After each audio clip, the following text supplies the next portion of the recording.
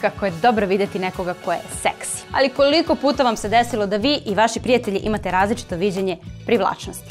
Verovali ili ne, to je normalno. Ljudi dosta vremena provode razmišljajući koga će odabrati za partnera. Sa evolutivne strane to je najvažnija stvar koju ćete ikada uraditi. A s obzirom na značaj nije ni malo jednostavno, kao što ste možda primetili. Ljude kod drugih privlače različite crte i osobine. To potiče još iz vremena kada su određene crte značile prednost u preživljavanju. Tako u većini slučajeva lepota je jezik koji prenosi informacije o zdravlju i plodnosti.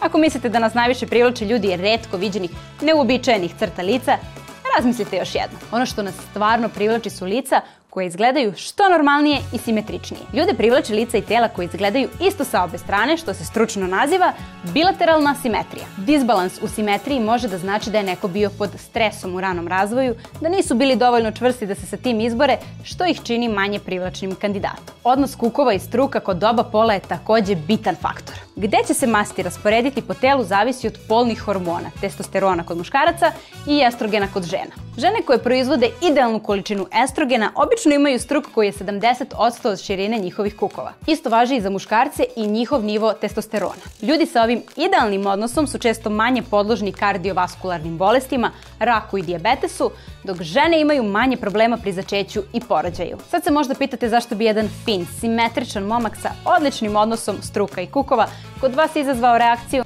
e, onako, a vašu prijateljicu izluđuje. Jedan od razloga možda leži u našim genima.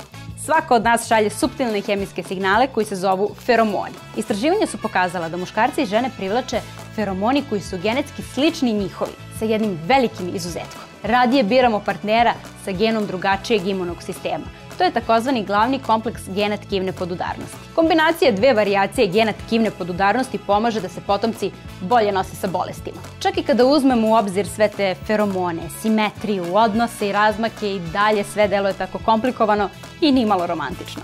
Ipak nije baš tako. Ljudi jednostavno ne donose uvek racionalne odluke. Ipak smo mi romantična stvorenja koja prave gluposti kad se zaljube. Eto vidite kako je sve tu stvari komplikovano, a opet tako fenomenalno. Bila je ovo još jedna epizoda naše nauke. Vidimo se!